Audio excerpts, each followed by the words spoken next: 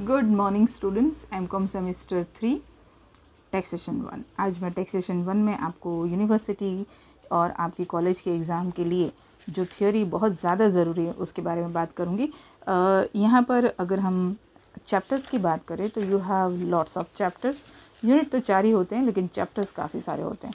तो यहाँ पर हमारे पास कुछ आठ चैप्टर्स हैं और यूनिट चार है। First unit theory second unit salary और house property sums plus theory third unit capital gain profit and gain की ये सम्स प्लस थियोरी ये बोलना ज़रूरी है, मैं आपको ओवरऑल बता दूँ कि चारों चार unit sums plus theory yes आपको कुछ चैप्टर्स में सम्स करने ही हैं, कुछ चैप्टर्स में थियोरी करनी है.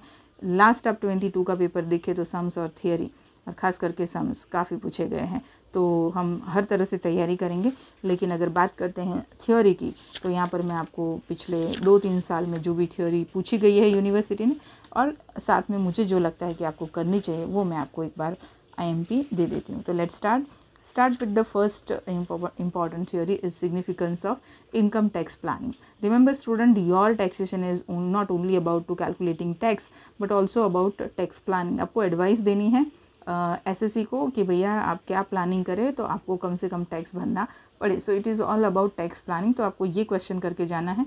That is importance of tax planning and you have one important uh, difference and that is difference between tax planning tax avoidance and tax evasion. ये वाला डिफरेंस आप बिल्कुल करके जाइए। जैसे आ, बोलते हैं ना कि कुछ क्वेश्चन ऐसे होते हैं जो एवरग्रीन होते हैं जो टैक्सेशन या बाकी सब्जेक्ट्स के लिए बहुत इंपॉर्टेंट होते हैं। This is one of one of them 2019, 20, 21 and 22 चार साल कंटिन्यूसली क्वेश्चन पूछा गया है। आप इस साल भी करके जाएँगे राइट ये करने से क्या होगा कि आपके शॉर्ट नॉट रेडी हो जाएँगे। ये वाले कि भाई टैक्स अवॉइडेंस किसे कहते हैं टैक्स इवेजन किसे कहते हैं। यहाँ पर ऑलरेडी हम करने ही वाले हैं। अगर आपको ये तीन डिफरेंस दिया है जिनका उसकी जगह आपको ये पूछा गया हो कि write a short note on tax planning और write a short note on tax evasion तो आप ये लिख सकते हैं, ठीक है? ऑब्जेक्टिव ऑफ़ टैक्स प्लानिंग 2019 में पूछा है, ये आप बिल्कुल करके जाएँगे, ठीक है? चलिए, आगे बढ़ते हैं। From the very first chapter एक टाइप्स ऑफ़ टैक्स है। ये वाला जो फॉर्मेट है, उसे थोड़ा सा लर्न कर लीजिए कि भाई बेसिक स्ट्रक्चर इंडिया का क्या है direct indirect and tax on tax तो ये आपका बहुत ज़रूरी है। टैक्स ऑन टैक्स मतलब आप जो टैक्स कैलकुलेट करते हैं उसके ऊपर भी आपको टैक्स करना पड़ता है। जैसे four percent health and education cess आप जब सैलरी का चैप्टर करेंगे इनकम वाला उसमें आपको लास्ट में ये कैलकुलेट करना होता है। तो this is important for your knowledge right चलिए फ़र्स्ट यूनिट में आपको ये करना है। साथ में आपको एक वो जो चीज़ करनी है चलो मैं वो आपको सैलरी में बता देती हूँ कि आपको क्या करना है। टे, एक टेबल है एक नहीं दो टेबल है जो आपको लर्न करना है। ये हो गया हमारा फ़र्स्ट यूनिट इंपॉर्टेंट थ्योरी के लिए। Let's talk about the second one residential status of an individual and tax planning as I told you tax planning is important for you because your whole subject is nothing but planning चलिए, अब उसमें हमें क्या करना है? तो residential status में तो आप सम्स करके बिल्कुल ही जाइए। आपको बताना है कि भैया ये जो आपका एम्प्लॉई है, वो रेसिडेंट है नॉन रेसिडेंट है ऑर्डिनरी रेसिडेंट है कि क्या है और वो क्या प्लान कर सकता है उस बेस पर, ठीक है? तो ये आप आप इसके पर्टिकुलरली सम करके ही जाइए। रेसिडेंशियल स्टेटस के सम बिकॉम सेम थ्री के मेरे अपलोडेड हैं। That will definitely help you in this case ये आपको हेल्प करेगा। चलिए रेसिडेंशियल स्टेटस के बाद हमारा आता है सैलरी इनकम इसमें से भी सम और थियोरी दोनों करके जाइए। सबसे पहले तो सैलरी इनकम कैलकुलेट करने के लिए बीकॉम सेम थ्री में जिस तरह से आप सैलरी कैलकुलेट करते हैं टैक्सेबल सैलरी वो एक आपको आना चाहिए that will helpful over here तो again I am saying B Com semester three के वीडियो अवेलेबल है for the calculation of salary वो आप डेफिनेटली देख कर समझ कर जाइए। उसके अलावा आपको क्या करना है तो या डिडक्शन अंडर सेक्शन सिक्सटी ये टू में पूछा हुआ भी है, यहाँ से शुरू होता है। फिर बीच में इलास्ट्रेशन को छोड़ देना है। Then again deduction under section eighty C and eighty U ये entertainment allowance and professional tax is a part of under section sixteen तो ये आपको लर्न करना है। फिर ये आपका ए शुरू होता है। ए सी से ए टी यू ये जहाँ तक है आपका। Eighty D eighty D D B ये आपके सम्स के लिए भी इंपॉर्टेंट है। और साथ में आपके थ्योरी पर्पज़ के लिए A T E A T G बस ये सब इतना डिटेल में पीछे नहीं आएगा एटी नाइन वगैरह ये नहीं पर आप डेफिनेटली यहाँ तक तो आ, करके ही जाइए एटी ई तक। डिडक्टेबल अमाउंट ये एटी ई में कितना आपको डिडक्ट करना है तो आपको ये करना पड़ेगा under section eighty C to eighty U पर एटी ई तक तो डेफिनेटली करके जाइए क्योंकि यहाँ पर ये जब आप सम्स करेंगे तब आपको दिखाना है कि भैया डिडक्शन कौन सा ओल्ड रेजिम में और कौन सा न्यू रेजिम में लागू पड़ेगा, ठीक है? उसके बाद मैंने जैसे कहा कि आपको मैं सैलरी में बताऊँगी कि आपको दो टेबल कर देने हैं। तो ये वाला जो टेबल है दैट इज़ दिस वन ये tax liability under old regime है फाइव ट्वेंटी एंड थर्टी और tax liability under new regime ये नहीं है। One more thing please go for the new newest edition this one is twenty two twenty three go for twenty three twenty four क्योंकि ये change हो गया, यहाँ पे टू फिफ्टी नहीं थ्री लैख हो गया है।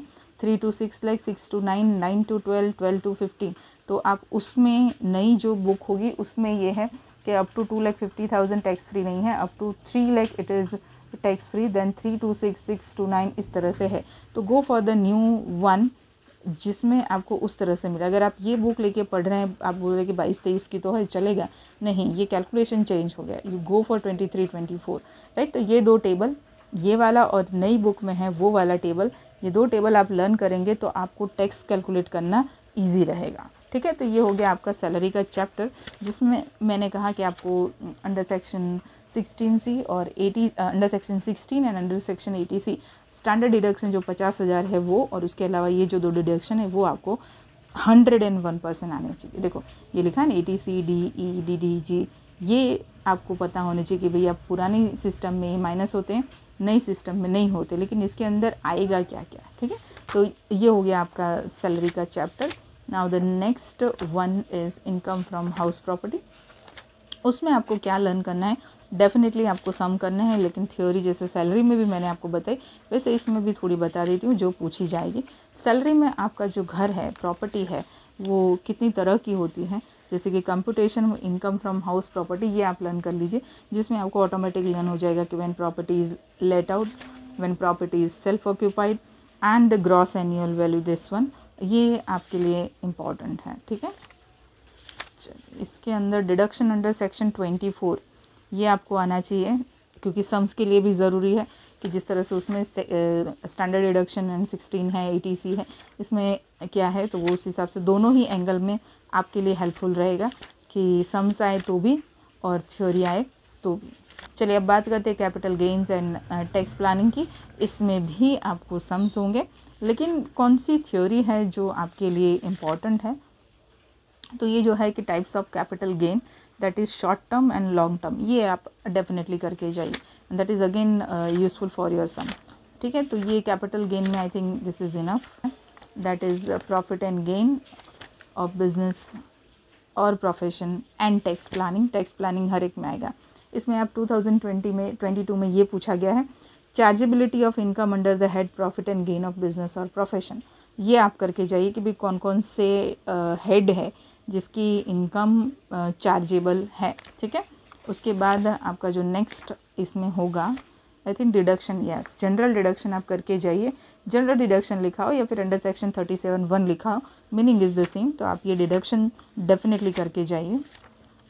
बस I think that's it profit and gain हमें इतना ही करके जाइए, क्योंकि सम्स हैं। उसके बाद हमारा आता है income from other sources right तो इनकम फ्रॉम अदर सोर्सेज में ये करके जाए कि कौन कौन सी इनकम इनकम्स इंक्लूडेड है under the head of income from other sources right तो ये एक क्वेश्चन आपके लिए ज़रूरी है, इस चलिए। तो this is your advance payment of tax and interest and tax planning ये थियोरी का चैप्टर है, जिसके अंदर आपको अच्छी खासी थियोरी पूछ सकते हैं। एक ये करके जाइए।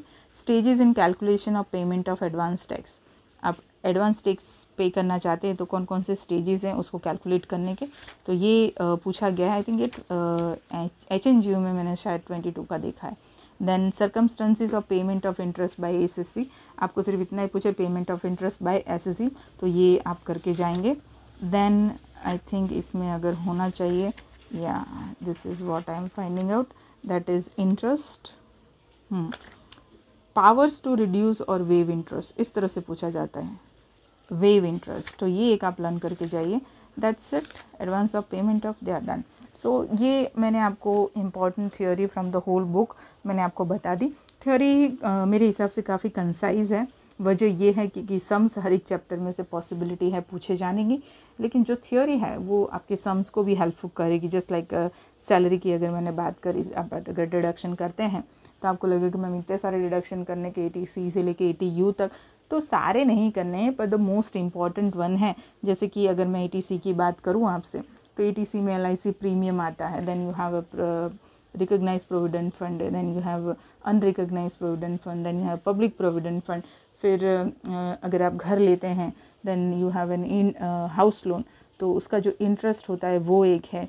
तो इस तरह से ए में काफ़ी सारी चीज़ें आती हैं। उसके अलावा A T D A T D D E mediclaim है या फिर हैंडीकैप्ड पर्सन है फैमिली में। सीनियर सिटीजन्स पेरेंट्स हैं। तो इन सब के जो मेडिकल प्रीमियम है वो तो ये सब चीज़ें बहुत ही कॉमन है। एक मैं आपको ट्रिक इसमें ये समझा दूँ कि आप इलस्ट्रेशन देख लीजिए और इलस्ट्रेशन में कौन से कॉमनली आस्क डिडक्शन है, उसे आप लर्न कर लीजिए। And that will helpful in your sum ठीक है? यूनिवर्सिटी के एग्ज़ाम से पहले इसके जो सैलरी के टैक्स प्लानिंग के सम है that that I will definitely do it मैं आपको करवाऊँगी। uh, मिलते हैं नेक्स्ट वीडियो में। Till then prepare theory for the taxation best of luck student